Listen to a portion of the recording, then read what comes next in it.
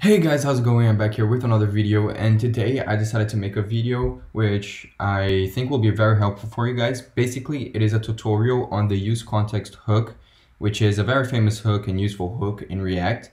And it allows you to create basically global states, which are accessible from like all the siblings components uh, inside of a parent uh, component. So this is a very useful thing to, to have in React and I use it a lot in, in medium-sized to, to big projects. So, so I think it would be very cool to make a video about this. So what I have here is a sample project. You can see that I'm inside of a just a simple like a page. There's a, a home page, a login page, and a profile page, as you can see right here. This is just to simulate, like obviously I don't want this to look good. It doesn't really matter to me. I just want to show you guys that these are different components.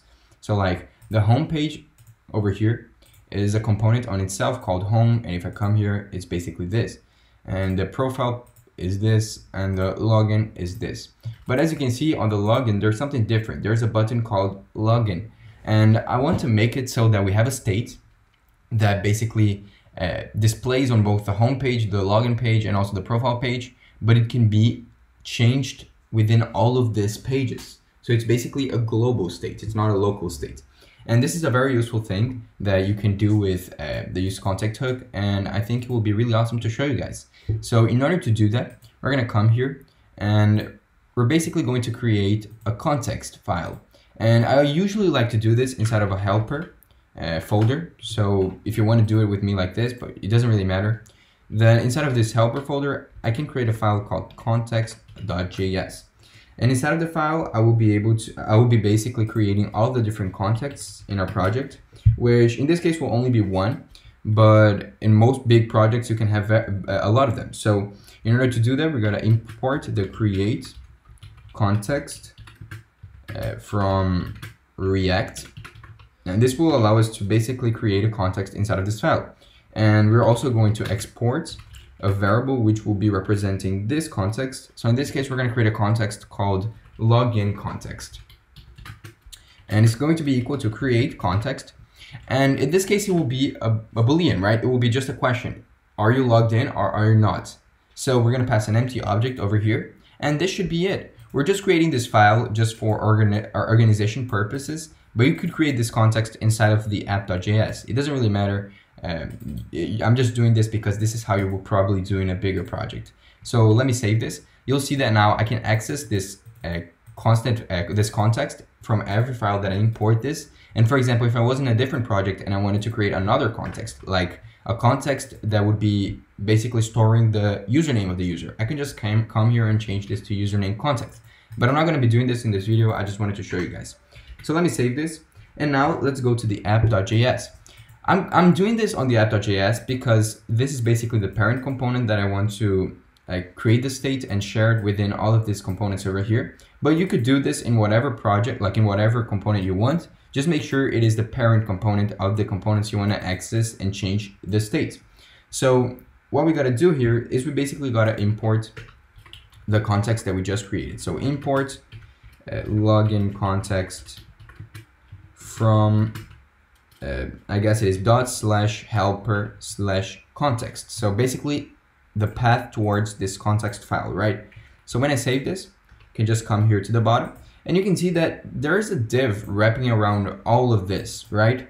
But I can just substitute this for the login context. So wait, let me erase this.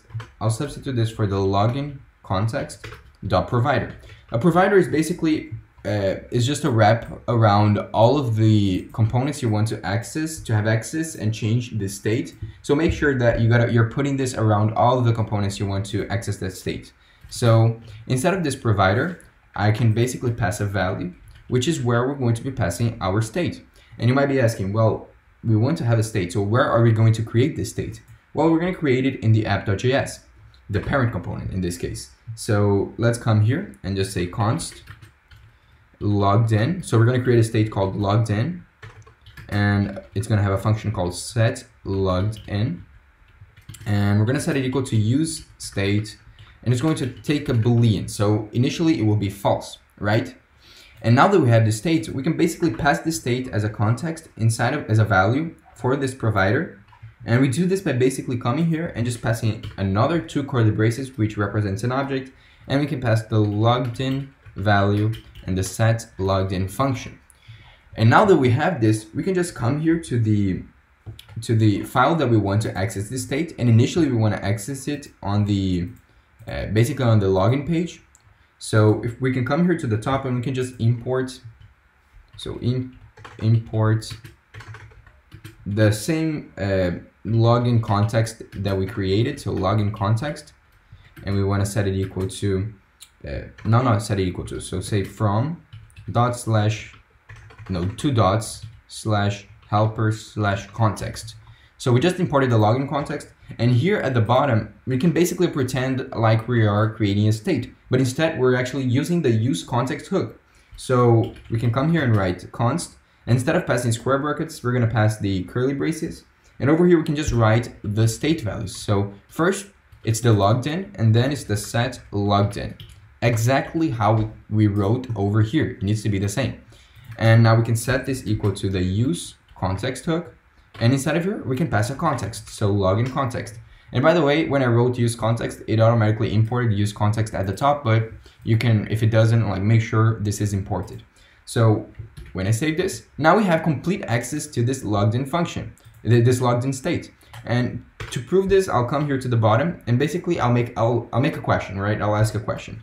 I'll say, is if this is logged in, then I want to create an H1 that says you are logged in. If not, so I'm using the ternary operator to make this question. If it is not logged in, I want to render the uh, header saying you are not logged in, whatever. When I save this, you can see that now it says you are not logged in on the login page component. It doesn't say on the other ones because we actually haven't put this on any other uh, of the like any of the other pages but it says you're not logged in. And if I want to change this, I want to set the user to be logged in. I can just come to the button and pass an onClick event, which we can just treat the set logged in as it is a state that we created locally. So we can just say set logged in equal to true. And whenever I click on this button, it will set the logged in equal to true, as you can see right here.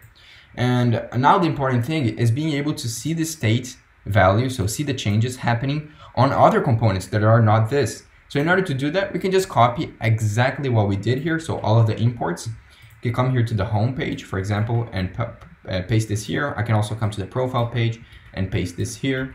And I can also come here and I'll just copy the same context, the declaration that we created here, and just put it inside of the home. So const and do the same for the profile and now we have full access to both the value of logged in and also the function which we can change logged in on both home and profile. So for example, if I came here and I also wanted to make this ask this question, right? I want to ask if I'm logged in. I could come here to the bottom and ask this. I could also come here to the bottom and ask this. And now you can see that it should say, yeah, it says you're not logged in, you're not logged in, you're not logged in. But when I click on this, it says you're all logged in on all of the different components despite them not being locally defined as a state inside of that component. They are, they are like all uh, siblings of each other. So this is a great way of creating a global state. And the last thing I want to do is I actually want to change the state on another component other than the login page. For example, if I came here to the home page and I also created the same button. So I'm to copy this. Literally the same thing on the home page you can see that now I have a button on the home page and if I click on this you can see it also changes. Like it doesn't really matter. The state is accessible and, and immutable on all three components. So yeah I hope you guys enjoyed this video. This is a very simplistic explanation of the use context hook. I hope you guys learned from it and I really hope you guys start using it a lot because uh, I remember I, I created a lot of projects before actually getting really into state management in React and I dealt with stuff like Redux and I didn't enjoy, it as much. And I really think that uh, using the context API in React is one of the best things you can do, especially for, for, for medium to large scale projects. So yeah, I hope you guys enjoyed this video. If you liked it, please leave a like and comment down below. I'm posting every single day. So I hope you guys are enjoying the videos. And if you want to see more, please subscribe. So yeah, I hope you guys enjoyed it and I see you guys next time.